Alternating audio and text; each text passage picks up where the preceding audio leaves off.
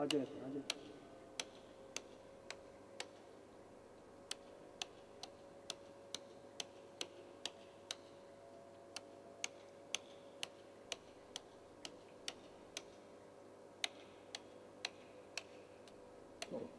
De biz alın oraya kameraya.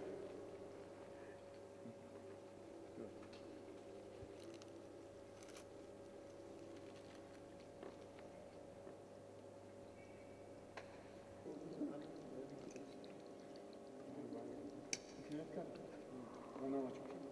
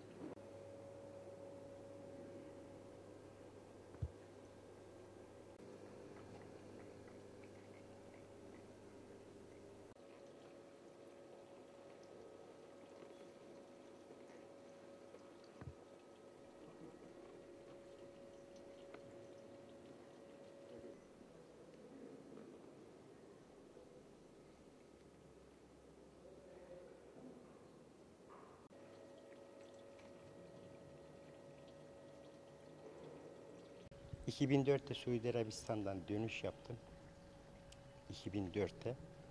E, tabii e, boş vakit geçireceğim kahve köşelerinde. Böyle bir ürün yapmayı düşündüm, kafamdan tasarladım. Bunda orada e, Arabistan'dan dönmeden evvel üç tanesini Suudi Arabistan'a, bunun Suudi Arabistan'da yaptım aynısını. Kral Fuat'a, Kral Fuat'a, oğluna Abdülaziz'e, şimdiki e, e, Kral Abdullah'a verildi, verildi. iş yerine gelmiş olan şeyi yani siparişler. Buraya döndükten sonra böyle bir şey, ürün çıkarmayı düşündüm. Ve başladım. Yavaş yavaş tabii. Ben bunu iki yılda bitirdim. Emekli maaşım iki, 400 lira almış oldum. Dışarıdan çalışmayla yani böyle amelelik herhangi bir şey böyle sağda solda çalışmayla ben bu ürünü bu hale getirdim. Elimden tutan kişiler yok. Bunun ağırlığı 200 kilo. Mermer, altın kavlama, altın, pirinç, cam. 3500 tane led kullandım lamba olarak. 180 kilo ağırlığında bu yaklaşık. Durum bu.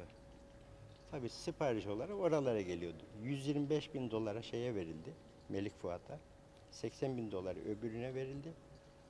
Eee, 60 bin dolara da e, en son yapmış olduğumuz şeyi verdik.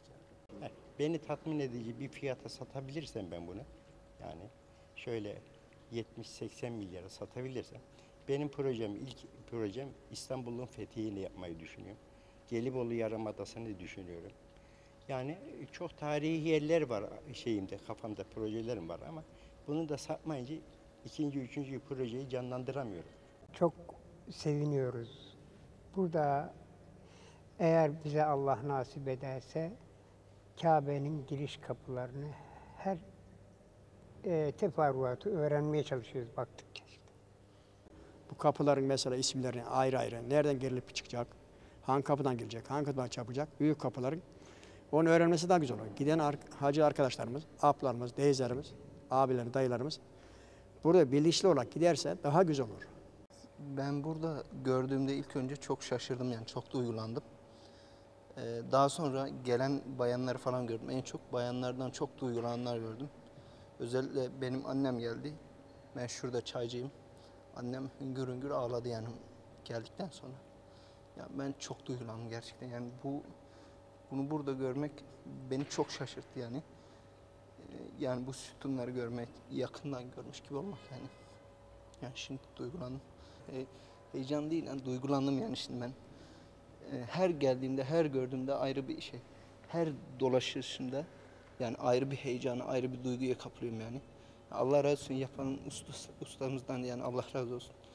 E, bizi yani gitmesek de en azından bizi bu duyguyu tattırdı yani. İnşallah herkese Allah, her Müslümanı Allah nasip eder. Her Müslüman olmuş bile herkes Allah nasip eder inşallah. Yani o kutsal topraklara, kutsal emanetleri görmek, o duyguyu yaşamayı inşallah Allah herkes nasip eder.